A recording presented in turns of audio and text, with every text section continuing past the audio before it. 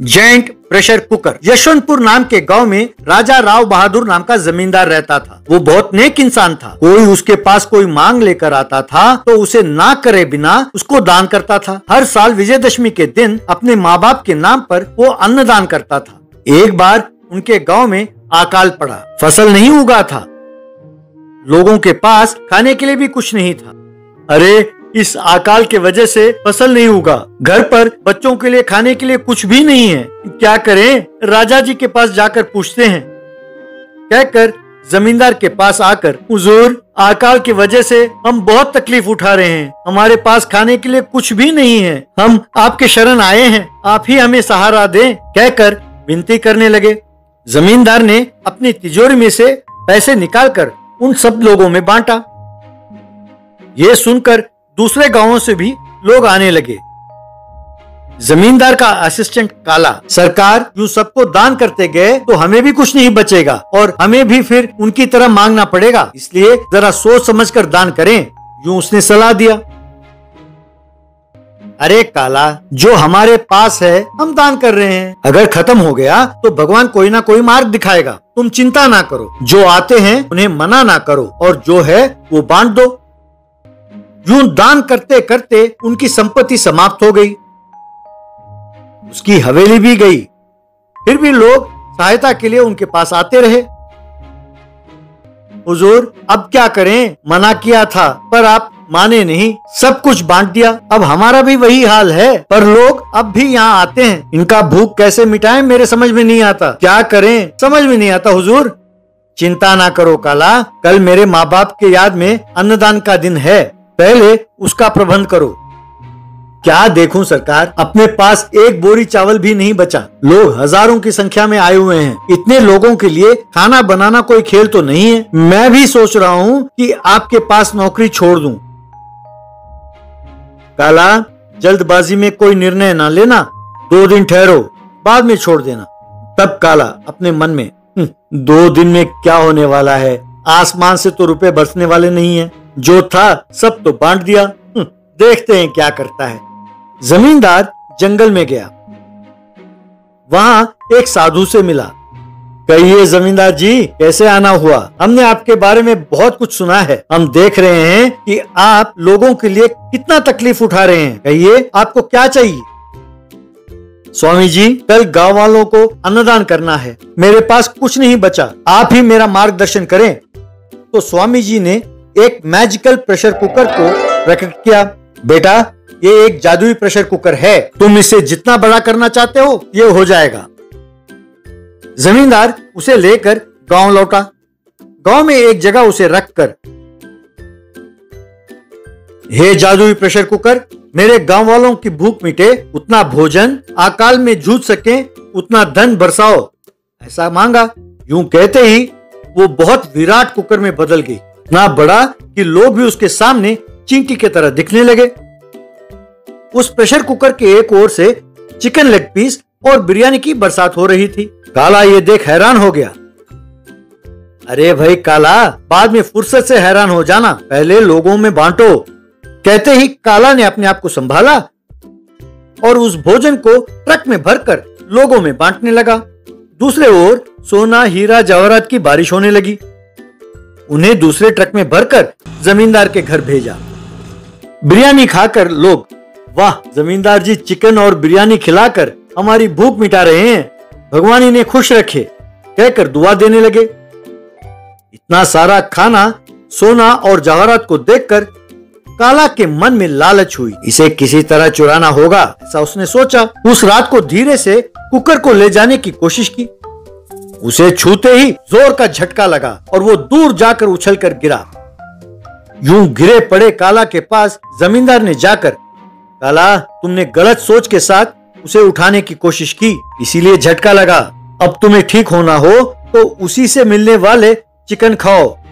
जल्दी ठीक हो जाओगे। कहकर कुकर में से एक चिकन पीस उठाकर उसे खिलाया। उसे खाकर काला ठीक हो गया। सॉरी सरकार, मैं आपकी नेकी को समझ नहीं सका। मुझे माफ़ कीजिए। इतने साल आपके साथ रहा, फिर भी आपकी अच्छाई को मैं सीख नहीं पाया। अब से मैं भी आप ही की तरह, मेरे से जो अच्छा काम होगा, वो करते हुए आप ही के पास काम करता रहूँगा। यूँ विनती की। अच्छी बात है काला, हम लोगों की भलाई करेंगे तो अपनी भी भलाई होगी। Double decker bus. वेदानगर नाम के गाँव में कन्नालाल नाम का एक धनवान रहता था। वो बहुत कंजूस था। और लोग उसे कंजूस लाल ही बुलाते थे। उसका बेटा मंगालाल तो बुरी लतों के भंडार था। एक दिन कन्नालाल, बेटे, तुम्हें जुआ, शराब ऐसी कोई भी लत नहीं है, कहकर झूठ बोलकर मैंने एक शादी का रिश्ता तय किया है। कम से कम शादी होने तक उन सबसे दूर रहो। अब बाद में तुम्हारी मर्ज़ी। लड़की वाले खूब पैसे वाले हैं। हमें कल ही शादी के लिए बारात लेकर जाना है। तुम तुरंत जाकर सस्ते में किसी बस का इंतज़ाम करके आओ। यूँ मंगालाल बाबुल नाम के एक बस ड्राइवर से जा मिला। देखो भैया परसों हम रतनपुर बारात लेकर जा रहे हैं। आ, मैं तुम्हें दस हज़ार रुपये ही दूँगा। मंजूर है? दस हज़ार? दस हज़ार क्यों सर? पाँच हज़ार ही दीजिए बहुत है। एक बस नहीं दो बस लेकर आऊँगा। एक में डीजल आप भर देना दूसरे का मैं देख लूँगा। ठीक है।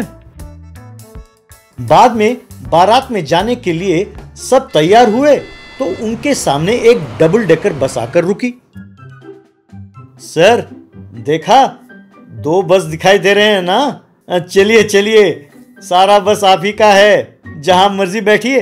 यूँ बस जाकर एक पेट्रोल पंप पर रुकी। इतने में कन्ना लाल का फ़ोन बजा।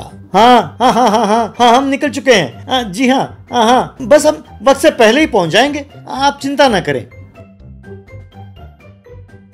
सर डीजल भर दिया है। उसे दस हज़ार रूपए दे दीजिए। क्या? डीजल का दस हज़ार? आप डीजल के पैसे भरने के लिए मान गए थे ना सर? आप दीजिए। देर हुई तो मुहूर्त निकल जाएगी। चलो चलो। बाद में बस जंगल के रास्ते से जाने लगी। ये क्या हाईवे में ना जाकर जंगल के रास्ते से जा रहे हो? ये शॉर्टकट है, सर। इस रास्ते से गए तो दस हज़ार रूपए बच जाएँगे, क्योंकि सौ किलोमीटर बच जाएगा, सर। वरना डीजल का और खर्च हो जाएगा। ठीक है, यूँ जाने लगे तो रास्ते के बीचों बीच एक बड़ा सा पेड़ दिखाई दिया। बाबुल बस रोककर। सर, यहाँ पेड़ है। ये दूसरे रास्ते से जाता हूँ। पर फासला जरा दूर होगा। अरे, लगता है तेरे वजह से शादी में देर हो जाएगी। कुछ करो। यूँ बस दूसरे रास्ते से जाने लगी तो एक तालाब में बस उतर गई। सब डरकर बाप रे, अरे बचाओ बचाओ! कहकर चिल्लाने लगे।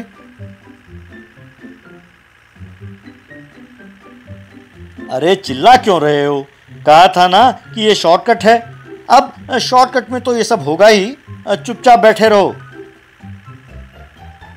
बाद में बस एक पहाड़ के किनारे से जा रही थी धीरे धीरे सब डर कर अरे, ये क्या? लगता है बस खाई में गिर जाएगी। कहकर चिल्लाने लगे, अरे, कोई चिल्लाए ना, और ना ही कोई हिले, वरना बैलेंस डुल कर हम खाई में गिर जाएँगे। भगवान, तुम ही हमारा बेड़ा पार करा दो। अरे मूर्ख तुम खुद ही बस को यहाँ ले आए और अब भगवान से प्रार्थना करते हो। जल्दी चलो। इतने में कन्ना लाल का फ़ोन फिर बजा। उसे उठाकर जी हाँ हाँ रा, रास्ते में ही है। बस पहुँच रहे हैं। कहकर उसने फ़ोन काट दिया।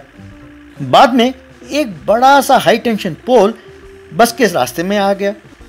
अरे कोई चिंता करने की ज़रूरत नहीं है। उस पोल के बीच में से ही बस को निकाल दूँगा, पर मुझे शक है कि कहीं उसको छत टच ना कर जाए। हे भगवान, किसी तरह मेरे बस को उस खम्बे के पार करा दो। कमीने, अगर वो टच हुआ तो हम सब जलकर राख हो जाएँगे। देर हो तो हो, कोई बात नहीं। जान है तो जहाँ है, कोई और रास्ता हो तो देख लो। पीछे मुड़ो। यूँ चलते चलते बस एक जगह जाकर रुक गई। सर लगता है कि डीजल खत्म हो गया है। हाँ। दस हज़ार रूपए दीजिए मैं जाकर डीजल ले आता हूँ। अरे इस जंगल में पेट्रोल पंप कहाँ होगा? कहकर पैसे दिए। अब मैं क्या जानू? आप जितना जानते हैं मैं भी उतना ही जानता हूँ। यूँ ढूंढते हुए जाना होगा कहकर चला गया। वे उसके लिए कई घंटे इंतज़ार करने लगे। बाद में बाबुल एक डिब्बा डीजल लेकर वहाँ आया। उसे टंकी में भरा। आज तक मैंने किसी का खून नहीं किया है। लगता है तुम्हारा खून ज़रूर करूँगा। अब बस कहीं नहीं रुकेगी। कहीं नहीं मुड़ेगी। अब चलो। यूँ जा रहे थे कि सामने एक ओवर ब्रिज आया। ये बस तेज़ी से जा रहा था। सब चिंता कर रहे थे और चिल्ला रहे थे। अरे रुको रुको। बस ऊपर लगेगा। पर वो तेज़ी से बस को आगे ले गया। बस बस का छत उड़ गया। यूँ किसी तरह बस शादी के मंडप पर पहुँची। अब भाई साहब बहुत देर हो गई। अब माफ़ कीजिए ये देखिए इस ड्राइवर की वजह से ही देर हुई है। चलिए चलिए अंदर चलते हैं। बेटा बस देरी से लाकर तुमने बहुत अच्छा किया। नहीं तो मेरी बेटी की ज़िंदगी बर्बाद हो जाती। हमें अभी अभी पता चला है कि इनका बेटा कितना निकम्मा है। क्यों रे कन्ना लाल हमारी संपत्ति के लालच में बेटे की सारी बुराइयाँ हमसे छिपाकर शादी कराना चाहते थे। कहकर सबने मिलकर कन्नालाल और उसके बेटे को खूब मारा। सर, अब तो शादी कैंसिल हो गई है ना? तो दस हज़ार रुपए दीजिए, मैं डीजल डलवा कर आता हूँ। बस बाप और बेटे दोनों बेहोश हो गए।